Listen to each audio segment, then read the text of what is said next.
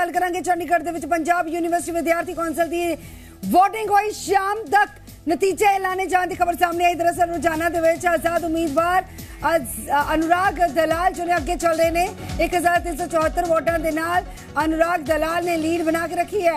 CYSS 892 ABVP 349 TNS ਜੁਆਈ ਨੂੰ 149 ਵੋਟਾਂ ਪਈਆਂ ਨੇ। ਪ੍ਰਧਾਨਗੀ ਅਹੁਦੇ ਲਈ ਲਈ ਤਿੰਨ ਕੁੜੀਆਂ ਉਮੀਦਵਾਰ ਵਜੋਂ ਨੇ ਮੈਦਾਨ ਦੇ ਵਿੱਚ ਇਸ ਦੇ ਨਾਲ ਹੀ ਨੌ ਹੋਰ ਉਮੀਦਵਾਰ ਮੈਦਾਨ ਦੇ ਵਿੱਚ ਨੇ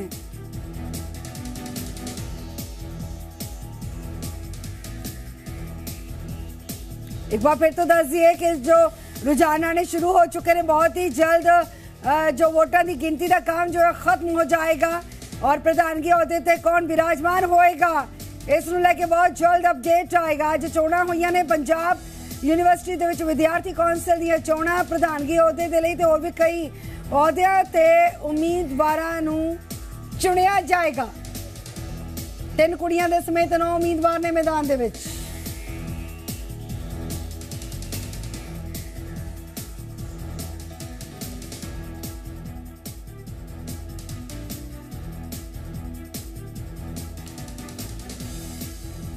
ਪਵਿਤ ਸਾਡੇ ਨਾਲ ਜੁੜ ਚੁੱਕੀ ਹੈ। ਪਵਿਤ ਕੀ ਜਾਣਕਾਰੀ ਹੈ? ਹਜੇ ਵੀ ਵੋਟਾਂ ਦੀ ਗਿਣਤੀ ਚੱਲ ਰਹੀ ਹੈ ਜਾਂ ਖਤਮ ਹੋ ਗਈ ਹੈ? ਜੀ ਬਿਲਕੁਲ, ਗਗਨ, ਦੇਖੋ, ਇਸ ਸਮੇਂ ਮੈਂ ਮੌਜੂਦ ਹਾਂ ਜਿਮਨੇਜ਼ੀਅਮ ਹਾਲ ਜਿੱਥੇ ਦੁਪਹਿਰ 12 ਵਜੇ ਤੋਂ ਜੋ ਹੈ VOTING, ਜੋ ਕਾਊਂਟਿੰਗ ਹੈ, ਉਹ ਲਗਾਤਾਰ ਸ਼ੁਰੂ ਹੈ ਵੋਟਾਂ ਦੀ। ਇਸ ਸਮੇਂ ਵੀ ਜਿਮਨੇਜ਼ੀਅਮ ਹਾਲ ਦੇ ਵਿੱਚ ਤੁਹਾਨੂੰ ਦੱਸ ਦਈਏ ਕਿ 12 ਵਜੇ ਦੇ ਕਰੀਬ ਜੋ ਹੈ ਡੀਆਰ ਯਾਨੀ ਕਿ ਡਿਪਾਰਟਮੈਂਟ ਦੇ ਜੋ ਰਿਪਰੈਜ਼ੈਂਟੇਟਿਵਸ ਨੇ, ਉਹਨਾਂ ਦੀ ਕਾਊਂਟਿੰਗ ਜਿਹੜੀ ਉਹ ਖਤਮ ਹੋ ਚੁੱਕੀ ਹੈ। ਬਟ ਇਸ ਸਮੇਂ ਤੁਸੀਂ ਮੇਰੇ ਪਿੱਛੇ ਵੀ ਦੇਖ ਸਕਦੇ ਹੋ ਕਿ ਲਗਾਤਾਰ 100 ਦੇ ਕਰੀਬ ਆਫੀਸਰ ਯੂਨੀਵਰਸਿਟੀ ਦੇ ਉਹ ਇਸ ਸਮੇਂ ਜੋ ਹੈ ਵੋਟਾਂ ਦੀ ਗਿਣਤੀ ਕਰ ਰਹੇ ਨੇ। ਤੁਹਾਨੂੰ ਦੱਸ ਦਈਏ ਕਿ ਅਗਰ ਅਸੀਂ ਪ੍ਰੈਜ਼ੀਡੈਂਸ਼ੀਅਲ ਕੈਂਡੀਡੇਟ ਦੀ ਗੱਲ ਕਰੀਏ ਤੇ ਇਸ ਸਮੇਂ ਅਨੁਰਾਗ ਦਲਾਲ ਜੋ ਕਿ ਇੰਡੀਪੈਂਡੈਂਟ ਕੈਂਡੀਡੇਟ ਨੇ ਉਹ ਲੀਡ ਕਰ ਰਹੇ ਨੇ। 1580 ਵੋਟਸ ਇਸ ਸਮੇਂ ਉਹਨਾਂ ਦੇ ਖਾਤੇ ਦੇ ਵਿੱਚ ਨੇ। ਉਹਨਾਂ ਦੇ ਬਾਅਦ ਜੋ ਹੈ ਸੀਵਾਈਐਸਐਸ ਯਾਨੀ ਕਿ ਛਾਤਰ ਯੁਵਾ ਸੰਘਰਸ਼ ਸਮਿਤੀ ਦੀ ਜੋ ਪ੍ਰੈਜ਼ੀਡੈਂਸ਼ੀਅਲ ਕੈਂਡੀਡੇਟ ਨੇ, ਪ੍ਰਿੰਸ ਚੌਧਰੀ, ਉਹ ਦੂਜੇ ਨੰਬਰ ਤੇ 999 ਵੋਟਸ ਦੇ ਨਾਲ ਉਹ ਸੈਕਿੰਡ ਪੋਜੀਸ਼ਨ ਤੇ ਇਸ ਸਮੇਂ ਮੌਜੂਦ ਨੇ। ਤੁਹਾਨੂੰ ਦੱਸ ਦਈਏ ਕਿ ਸਵੇਰੇ 9:30 ਦੇ ਕਰੀਬ ਜੋ ਹੈ VOTING ਸ਼ੁਰੂ ਹੋਈ ਸੀ। VOTING ਦੀ ਅਗਰ ਅਸੀਂ ਗੱਲ ਕਰੀਏ ਤੇ ਪੰਜਾਬ ਯੂਨੀਵਰਸਿਟੀ ਦੇ ਵਿੱਚ ਟੋਟਲ ਵੋਟਰਸ ਜਿਹੜੇ ਨੇ 15800 ਦੇ ਕਰੀਬ ਜਿਹੜੇ ਟੋਟਲ ਵੋਟਰਸ ਨੇ। ਅੱਜ ਦੀ ਅਗਰ ਅਸੀਂ ਗੱਲ ਕਰੀਏ, ਅੱਜ ਕਿੰਨੇ ਕੁ ਪੋਲਿੰਗ ਬੂਥਸ ਬਣਾਏ ਗਏ ਸੀ? 180 ਦੇ ਕਰੀਬ ਜੋ ਹੈ ਪੋਲਿੰਗ ਬੂਥਸ ਬਣਾਏ ਗਏ ਸੀ, ਜਿਹਦੇ ਵਿੱਚ 600 306 ਬੈਲਟ ਬਾਕਸਸ ਜਿਹੜੇ ਆ, ਉਹਨਾਂ ਦੇ ਵਿੱਚ VOTING ਹੋਈ ਹੈ। ਇਸ ਸਮੇਂ ਜੋ ਬੈਲਟ ਬਾਕਸ ਦੀ ਜੋ ਵੋਟਾਂ ਦੀ ਜੋ ਗਿਣਤੀ ਹੈ, ਉਹ ਲਗਾਤਾਰ ਜਾਰੀ ਹੈ। ਕਾਊਂਟਿੰਗ ਹਜੇ ਵੀ ਚੱਲ ਰਹੀ ਹੈ। ਤੁਸੀਂ ਤਸਵੀਰਾਂ ਦੇ ਵਿੱਚ ਦੇਖ ਸਕਦੇ ਹੋ ਕਿ ਕਿਸ ਤਰੀਕੇ ਦੇ ਨਾਲ ਜੋ ਵਿਦਿਆਰਥੀ ਨੇ, ਉਹ ਵੇਟ ਕਰ ਰਹੇ ਨੇ। ਵੱਖ-ਵੱਖ ਪਾਰਟੀਆਂ ਦੇ ਜੋ ਰਿਪਰੈਜ਼ੈਂਟੇਟਿਵਸ ਨੇ, ਉਹਨਾਂ ਨੂੰ ਜੋ ਹੈ ਵੋਟਸ ਦਿਖਾਈ ਜਾ ਰਹੇ ਨੇ, ਜੋ ਇਨਵੈਲਿਡ ਵੋਟਸ ਨੇ, ਵੋਟਸ ਕਿਸ ਸਮੇਂ ਕਿੰਨੀ ਵੋਟਸ ਕਿਹੜੇ ਪਾਰਟੀ ਨੂੰ ਮਿਲ ਰਹੀ ਹੈ, ਉਹ ਲਗਾਤਾਰ ਜੋ ਪ੍ਰੋਫੈਸਰਸ ਨੇ ਉਹਨਾਂ ਨੂੰ ਦੱਸ ਰਹੇ ਨੇ, ਲਗਾਤਾਰ ਜੋ ਰਿਟਰਨਿੰਗ ਆਫੀਸਰਸ ਨੇ, ਉਹ ਵੀ ਨੇ। ਤੁਸੀਂ ਦੇਖ ਸਕਦੇ ਹੋ ਕਿ ਹਜੇ ਕੁਝ ਬੈਲਟ ਬਾਕਸਸ ਹਜੇ ਵੀ ਖੁੱਲਨੇ ਜੋ ਹੈ ਬਾਕੀ ਨੇ। ਇਸ ਸਮੇਂ ਲਗਾਤਾਰ ਅਗਰ ਅਸੀਂ ਗੱਲ ਕਰੀਏ ਕਿ ਕੜੀ ਟੱਕਰ ਦੀ ਗੱਲ ਕਰੀਏ ਕਿ ਪੰਜਾਬ ਯੂਨੀਵਰਸਿਟੀ ਦੇ ਜੋ ਪ੍ਰੈਜ਼ੀਡੈਂਸ਼ੀਅਲ ਕੈਂਡੀਡੇਟ ਦੇ ਲਈ ਇਸ ਸਮੇਂ ਅਨੁਰਾਗ ਦਲਾਲ ਤੇ ਪ੍ਰਿੰਸ ਚੌਧਰੀ ਦੇ ਵਿੱਚ ਕੜੀ ਟੱਕਰ ਜਿਹੜੀ ਹੈ ਉਹ ਦੇਖਣ ਨੂੰ ਮਿਲ ਰਹੀ ਹੈ। ਅਸੀਂ ਆਪਣੀ ਸਕਰੀਨ ਤੇ ਵੀ ਤੁਹਾਨੂੰ ਦਿਖਾਵਾਂਗੇ ਕਿ ਕਿਸ ਤਰੀਕੇ ਦੇ ਨਾਲ ਜੋ ਸਮੀਕਰਨ ਨੇ, ਉਹ ਵੱਖ-ਵੱਖ ਪਾਰਟੀਆਂ ਦੇ ਜੋ ਹੈ ਉਹ ਬਣੇ ਹੋਏ ਨੇ। ਜੇਕਰ ਅਸੀਂ ਗੱਲ ਕਰੀਏ ਜੁਆਇੰਟ ਸੈਕਟਰੀ ਦੇ ਜੁਆਇੰਟ ਸੈਕਟਰੀ ਦੇ ਵਿੱਚ ਵੀ ਪ੍ਰੈਜ਼ੀਡੈਂਟ ਦੀ ਗੱਲ ਕਰੀਏ ਤੇ ਪ੍ਰੈਜ਼ੀਡੈਂਟ ਦੇ ਵਿੱਚ ਅਨੁਰਾਗ ਦਲਾਲ ਲਗਾਤਾਰ ਲੀਡ ਬਣਾਏ ਹੋਏ ਨੇ ਅਪਡੇਟ ਲਗਾਤਾਰ ਹੋ ਰਹੇ ਨੇ। ਇਹ ਸਾਰੀ ਚੀਜ਼ਾਂ ਵਾਈਸ ਪ੍ਰੈਜ਼ੀਡੈਂਟ ਦੇ ਵਿੱਚ ਜੋ ਹੈ ਅ, ਅਰਚਿਤ ਗਰਗ ਤੇ ਕਰਨਦੀਪ ਸਿੰਘ ਦੇ ਵਿੱਚ ਜੋ ਹੈ ਕੜਾ ਮੁਕਾਬਲਾ ਦੇਖਣ ਨੂੰ ਮਿਲ ਰਿਹਾ। ਸੈਕਟਰੀ ਦੇ ਵਿੱਚ ਜੋ ਹੈ ਜਸ਼ਨਪ੍ਰੀਤ ਸਿੰਘ ਇੱਕ ਤਰਫਾ ਬਹੁਤ ਵੱਡੀ ਲੀਡ ਲੈ ਕੇ ਜੋ ਚੱਲ ਰਹੇ ਨੇ। ਅਗਰ ਜੁਆਇੰਟ ਸੈਕਟਰੀ ਦੀ ਗੱਲ ਕਰੀਏ ਤੇ ਉਹਦੇ ਵਿੱਚ ਜਸਵਿੰਦਰ ਰਾਣਾ ਜੋ ਹੈ ਵੱਡੀ ਲੀਡ ਲੈ ਕੇ ਸਾਹਮਣੇ ਦਿਖਾਈ ਦੇ ਰਹੇ ਨੇ। ਬਟ ਇਸ ਸਮੇਂ ਵੀ ਜੋ ਵੋਟਾਂ ਦੀ ਗਿਣਤੀ ਹੈ ਉਹ ਲਗਾਤਾਰ ਜਾਰੀ ਹੈ ਤੇ ਹਜੇ ਵੀ ਇੱਕ ਘੰਟੇ ਬਾਅਦ ਪੰਜਾਬ ਯੂਨੀਵਰਸਿਟੀ ਨੂੰ ਪਤਾ ਲੱਗੂਗਾ ਕਿ ਕੌਣ? ਪੰਜਾਬ ਯੂਨੀਵਰਸਿਟੀ ਸਟੂਡੈਂਟ ਕਾਉਂਸਲ 2024 ਦਾ ਨਵਾਂ ਪ੍ਰਧਾਨ ਹੋਏਗਾ। ਸਟੂਡੈਂਟਸ ਬੜੀ ਬੇਸਬਰੀ ਦੇ ਨਾਲ ਇੰਤਜ਼ਾਰ ਕਰ ਰਹੇ ਨੇ। ਪੰਜਾਬ ਯੂਨੀਵਰਸਿਟੀ ਦੇ ਸਟੂਡੈਂਟ ਸੈਂਟਰ ਤੇ ਤਾਂ ਅਗਰ ਕੁੜੀਆਂ ਦੀ ਗੱਲ ਕੀਤੀ ਜਾਏ ਤਾਂ ਕੁੜੀਆਂ ਦੇ ਵੱਲੋਂ ਭਾਗੀਦਾਰੀ ਵੀ ਦਿਖਾਈ ਗਈ ਹੈ ਉਮੀਦਵਾਰਾਂ ਦੇ ਵਿੱਚ ਔਰ ਇਸ ਦੇ ਨਾਲ ਹੀ ਮਤਦਾਨ ਵੀ ਕੁੜੀਆਂ ਦੇ ਵੱਲੋਂ ਵੱਡੀ ਗਿਣਤੀ ਦੇ ਵਿੱਚ ਕੀਤਾ ਗਿਆ ਤਾਂ ਹੈਰਾਨੀਜਨਕ ਨਤੀਜੇ ਸਾਹਮਣੇ ਆ ਸਕਦੇ ਨੇ। ਔਰ ਨਤੀਜਿਆਂ ਨੂੰ ਲੈ ਕੇ ਕੀ ਜਾਣਕਾਰੀ? ਕਿੰਨੇ ਵਜੇ ਤੱਕ ਨਤੀਜੇ ਐਲਾਨੇ ਜਾ ਸਕਦੇ ਨੇ? ਜੀ ਬਿਲਕੁਲ।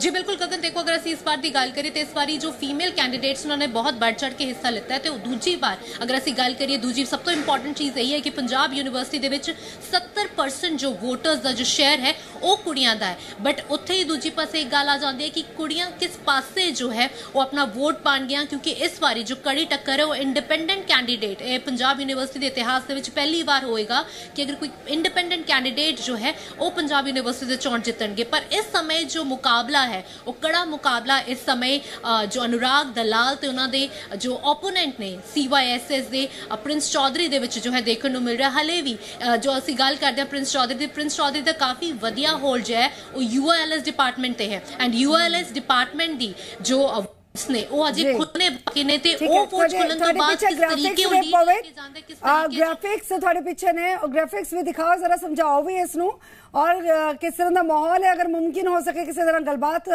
ਕਰਨੀ ਵੀ ਉਹ ਵੀ ਗੱਲਬਾਤ ਤੁਸੀਂ ਕਰੋ ਇਹਨਾਂ ਚੋਣਾਂ ਨੂੰ ਲੈ ਕੇ ਕਿਵੇਂ ਸੋਚ ਰਹੇ ਨੇ ਫਿਲਹਾਲ ਗ੍ਰਾਫਿਕਸ ਕੀ ਕਹਿੰਦੇ ਨੇ ਗ੍ਰਾਫਿਕਸ ਜੀ, ਬਿਲਕੁਲ ਦੇਖੋ, ਅਗਰ ਅਸੀਂ ਗ੍ਰਾਫਿਕਸ ਦੀ ਗੱਲ ਕਰੀਏ ਤਾਂ ਇਸ ਸਮੇਂ ਵੱਡੀ ਲੀਡ ਲੈ ਕੇ ਜੋ ਹੈ ਅਗਰ ਅਸੀਂ ਪਹਿਲਾਂ ਤੋਂ ਸ਼ੁਰੂਆਤ ਤੋਂ ਅਗਰ ਅਸੀਂ ਗੱਲ ਕਰੀਏ, ਅਗਰ ਅਸੀਂ ਪ੍ਰੈਜ਼ੀਡੈਂਟ ਦੀ ਗੱਲ ਕਰੀਏ ਤਾਂ ਅਨੁਰਾਗ ਦਲਾਲ ਜੋ ਹੈ ਵੱਡੀ ਲੀਡ ਲੈ ਕੇ ਸਭ ਤੋਂ ਅੱਗੇ ਚੱਲ ਰਹੇ ਨੇ। ਤੁਸੀਂ ਇਸ ਸਮੇਂ ਵੀ ਦੇਖ ਰਹੇ ਹੋ ਅਪਡੇਟ ਹੋ ਰਹੀ ਹੈ, ਜੋ ਸਾਡੇ ਕੋਲ ਫਿਗਰਸ ਆਈਆਂ ਨੇ, ਉਹ ਫਿਗਰਸ ਦੇ ਵਿੱਚ ਕਾਫੀ ਜ਼ਿਆਦਾ ਜੋ ਹੈ ਬਦਲਾਅ। ਹੈ ਵਾਈਸ ਪ੍ਰੈਜ਼ੀਡੈਂਟ ਦੇ ਵਿੱਚ ਜੋ ਹੈ ਅਰਚਿਤ ਗਰਗ ਤੇ ਕਰਨਦੀਪ ਸਿੰਘ ਦੇ ਵਿੱਚ ਜੋ ਹੈ ਕੜਾ ਮੁਕਾਬਲਾ ਜਿਹੜਾ ਦੇਖਣ ਨੂੰ ਮਿਲ ਰਿਹਾ। ਤੇ ਸੈਕਟਰੀ ਦੀ ਗੱਲ ਕਰੀਏ ਤਾਂ ਸੈਕਟਰੀ ਦੇ ਵਿੱਚ ਜਸ਼ਨਪ੍ਰੀਤ ਇੱਕ ਲੀਡ ਬਣਾ ਕੇ ਜੋ ਹੈ 300 ਵੋਟਾਂ ਦੇ ਕਰੀਬ ਉਹਨਾਂ ਦੀ ਲੀਡ ਅਗਰ ਅਸੀਂ ਜੁਆਇੰਟ ਸੈਕਟਰੀ ਦੀ ਗੱਲ ਕਰੀਏ ਤਾਂ ਜੁਆਇੰਟ ਸੈਕਟਰੀ ਦੇ ਵਿੱਚ ਜਸਵਿੰਦਰ ਰਾਣਾ ਇੱਕ ਵੱਡੀ ਲੀਡ ਬਣਾ ਕੇ ਜੋ ਹੈ ਅੱਗੇ ਚੱਲ ਰਹੇ ਨੇ। ਤੇ ਸਮੇਂ ਸਭ ਦੀ, ਜੋ ਸਭ ਦੀ ਨਿਗਾਹਾਂ ਨੇ ਗਗਨ, ਮੈਂ ਤੁਹਾਨੂੰ ਦੱਸਣਾ ਚਾਹੂੰਗੀ ਕਿ ਸਭ ਦੀ ਨਿਗਾਹਾਂ ਇਸ ਸਮੇਂ ਅਰਚਿਤ ਇਸ ਸਮੇਂ ਅਨੁਰਾਗ ਦਲਾਲ, ਜੋ ਕਿ ਪ੍ਰੈਜ਼ੀਡੈਂਸ਼ੀਅਲ ਇੰਡੀਪੈਂਡੈਂਟ ਕੈਂਡੀਡੇਟ ਨੇ, ਤੇ ਪ੍ਰਿੰਸ ਚੌਧਰੀ ਤੇ ਬਣੀਆਂ ਹੋਈਆਂ ਨੇ, ਕਿਉਂਕਿ ਕੜਾ ਮੁਕਾ ਦੋਨਾਂ ਦੇ ਵਿੱਚ ਜੋ ਹੈ ਦੇਖਣ ਨੂੰ ਮਿਲ ਰਿਹਾ ਤੇ ਥੋੜੀ ਹੀ ਦੇਰ ਦੇ ਵਿੱਚ ਨਤੀਜੇ ਜਿਹੜੇ ਨੇ ਉਹ ਸਾਫ਼ ਹੋ ਜਾਣਗੇ ਕਿ ਇਸ ਵਾਰੀ ਪੰਜਾਬ ਯੂਨੀਵਰਸਿਟੀ ਸਟੂਡੈਂਟ ਕਾਉਂਸਲ ਦੇ ਪ੍ਰਧਾਨ ਕੌਣ ਹੋਣਗੇ? ਤੁਹਾਨੂੰ ਦੱਸ ਦਈਏ ਕਿ ਇਸ ਪਿਛਲੀ ਵਾਰ ਦੀ ਅਗਰ ਅਸੀਂ ਗੱਲ ਕਰੀਏ ਤੇ ਪਿਛਲੀ ਵਾਰ 10000 ਦੇ ਕਰੀਬ ਜੋ ਹੈ ਉਹ ਵੋਟਸ ਪਈਆਂ ਸੀ ਬਟ ਇਸ ਸਮੇਂ ਤੱਕ ਅਗਰ ਅਸੀਂ ਕੈਲਕੂਲੇਟ ਕਰੀਏ ਤੇ 4000 ਦੇ ਕਰੀਬ ਤੱਕ ਹੀ ਹਜੇ ਤੱਕ ਵੋਟ ਪਈਆਂ ਨੇ। ਤੇ ਦੇਖਣਾ ਬਹੁਤ ਹੀ ਦਿਲਚਸਪ ਹੋਗਾ ਕਿਉਂਕਿ ਬਹੁਤ ਲੰਬਾ ਵੀਕਐਂਡ ਸੀ VOTING ਕਿਸ ਤਰੀਕੇ ਦੇ ਨਾਲ ਵੋਟਰ ਟਰਨਆਊਟ ਕਿਸ ਤਰੀਕੇ ਦੇ ਨਾਲ ਆਉਂਦਾ ਇਹ ਬਹੁਤ ਵੱਡਾ ਫੈਕਟਰ ਹੋਏਗਾ। ਤਾਂ ਕਿ ਕੋਈ। ਇੱਕ ਤਰਫਾ ਜੀਤ ਨਾ ਹੋਵੇ ਤੇ ਇਸ ਸਮੇਂ ਵੀ ਜੋ ਵੋਟਾਂ ਦੀ ਗਿਣਤੀ ਉਹ ਲਗਾਤਾਰ ਜਾਰੀ ਹੈ ਤੇ ਦੇਖਣਾ ਬਹੁਤ ਹੀ। ਦਿਲਚਸਪ ਹੋਊਗਾ ਕਿ ਇਸ ਵਾਰੀ ਕੋਈ ਪਾਰਟੀ ਜਿੱਤ ਹਾਸਲ ਕਰਦੀ ਹੈ ਜਾਂ ਫਿਰ ਕੋਈ ਇੰਡੀਪੈਂਡੈਂਟ ਕੈਂਡੀਡੇਟ ਜਿਹੜਾ ਇਸ ਵਾਰੀ ਪੰਜਾਬ। ਯੂਨੀਵਰਸਿਟੀ ਦਾ ਪਹਿਲਾ ਪ੍ਰਧਾਨ ਠੀਕ ਹੈ। ਮੁੱਦਿਆਂ ਦੀ ਅਗਰ ਗੱਲ ਕੀਤੀ ਜਾਏ ਕਿਉਂਕਿ ਹਰ ਇੱਕ ਜਥੇਬੰਦੀ ਦੇ ਵੱਲੋਂ ਆਪਾਂ ਆਪਣੇ ਪੱਧਰ ਤੇ ਪ੍ਰੋਮਿਸਸ ਕੀਤੇ ਗਏ ਹੋਣਗੇ ਅਗਰ ਮੁੱਦਿਆਂ ਦੀ ਗੱਲ ਕੀਤੀ ਜਾਏ ਤਾਂ ਭਖਵੇਂ ਮੁੱਦੇ ਕਿਹੜੇ ਰਹੇ ਜਿਨ੍ਹਾਂ ਨੂੰ ਲੈ ਕੇ ਉਮੀਦਵਾਰ ਵੀ ਉਤਰੇ ਮੈਦਾਨ ਦੇ ਵਿੱਚ ਤੇ ਵੋਟਰਾਂ ਦੇ ਵੱਲੋਂ ਵੀ ਮਤਦਾਨ ਜੋ ਕੀਤਾ ਗਿਆ, ਸਟੂਡੈਂਟਸ ਦੇ ਵੱਲੋਂ ਵੀ। ਜੀ ਬਿਲਕੁਲ ਜੀ ਬਿਲਕੁਲ ਗਗਨ, ਦੇਖੀਏ ਅਗਰ ਅਸੀਂ ਵੱਖ-ਵੱਖ ਪਾਰਟੀਆਂ ਦੀ ਗੱਲ ਕਰੀਏ, ਅਗਰ ਅਸੀਂ ਪੀਐਸਯੂ ਲਲਕਾਰ ਦੀ ਗੱਲ ਕਰੀਏ, ਉਹਨਾਂ ਦਾ ਸੀਗਾ ਕਿ ਅਸੀਂ ਪ੍ਰਾਈਵੇਟਾਈਜੇਸ਼ਨ ਐਜੂਕੇਸ਼ਨ ਜੋ ਅਦਾਰਿਆਂ ਨੂੰ ਜੋ ਹੈ ਵੇਚਿਆ ਜਾ ਰਿਹਾ ਹੈ, ਉਹ ਉਹਨਾਂ ਦੀ ਪ੍ਰਾਈਵੇਟਾਈਜੇਸ਼ਨ ਨੂੰ ਅਸੀਂ ਰੋਕਾਂਗੇ ਹੌਸਟਲਸ ਜਿਹੜੇ ਨੇ, ਉਹਨਾਂ ਦੇ ਪਰਮਨੈਂਟ ਟੀਚਰਸ ਨੂੰ ਅਸੀਂ ਹਾਇਰ ਕਰਾਂਗੇ। ਉੱਥੇ ਹੀ ਅਗਰ ਅਸੀਂ ਐਸਐਫ ਦੀ ਗੱਲ ਕਰੀਏ ਔਮਨ ਸੇਫਟੀ ਦੀ ਗੱਲ ਜਿਹੜੀ ਹੈ ਜੇਕਰ ਅਸੀਂ ਗੱਲ ਕਰੀਏ ਕਿ ਕਿਸ ਤਰੀਕੇ ਦੇ ਨਾਲ ਸੀਵਾਈਐਸਐਸ ਇਸ ਚੁਣਾਵ ਨੂੰ ਦੇਖਦੀ ਤੇ ਉਹਨਾਂ ਦਾ ਇਹੀ ਕਹਿਣਾ ਹੈ ਕਿ ਸਭ ਤੋਂ ਪਹਿਲਾਂ ਨਾਰਥ ਕੈਂਪਸ ਦੇ ਵਿੱਚ ਜੋ ਹੈ ਕੁੜੀਆਂ ਦੇ ਲਈ ਜੋ ਹੈ ਸੇਫਟੀ ਪਾਥਸ ਜਿਹੜੇ ਉਹ ਬਣਾਏ ਜਾਣਗੇ। ਟ੍ਰੇਨਿੰਗ ਤੇ ਪਲੇਸਮੈਂਟ ਸੈਲਸ ਦੀ ਜੋ ਹੈ ਗੱਲ ਕੀਤੀ ਪੰਜਾਬ ਯੂਨੀਵਰਸਿਟੀ ਦੇ ਜੋ ਵਾਈਸ ਚਾਂਸਲਰ ਨੇ ਉਹ ਵੀ ਇਸ ਸਮੇਂ ਪੂਰੀ ਜੋ ਪ੍ਰਕਿਰਿਆ ਚੱਲ ਰਹੀ ਹੈ ਵੋਟਾਂ ਦੀ ਗਿਣਤੀ ਦੀ ਪ੍ਰਕਿਰਿਆ ਚੱਲ ਰਹੀ ਹੈ ਉਹਨੂੰ ਦੇਖਣ ਦੇ ਲਈ ਇੱਥੇ ਡੀਐਸਡਬਲਯੂ ਦੇ ਨਾਲ ਪਹੁੰਚੇ ਨੇ ਉਹਨਾਂ ਦੇ ਨਾਲ ਪੂਰੀ ਸਿਕਿਉਰਿਟੀ ਹੈ। ਉਹ ਦੇਖ ਰਹੇ ਨੇ ਕਿ ਕਿਸ ਤਰੀਕੇ ਦੇ ਨਾਲ ਕਿਉਂਕਿ ਇਸ ਵਾਰੀ ਜੋ ਅਸੀਂ ਇਲੈਕਸ਼ਨਸ ਦੀ ਗੱਲ ਕਰੀ ਬਹੁਤ ਛੋਟਾ ਸਮਾਂ ਜਿਹੜਾ ਕੈਂਪੇਨਿੰਗ ਦੇ ਲਈ ਮਿਲਿਆ ਸੀ ਉਹ ਤੋਂ ਇਲਾਵਾ ਬਹੁਤ ਸਿਕਿਉਰਿਟੀ ਜਿਹੜੀ ਹੈ ਬਹੁਤ ਟਾਈਟ ਰੱਖੀ ਗਈ ਸੀ ਇਸ ਵਾਰੀ। ਅਗਰ ਅਸੀਂ ਸਵੇਰ ਦੀ ਗੱਲ ਕਰੀਏ ਸਵੇਰ ਤੋਂ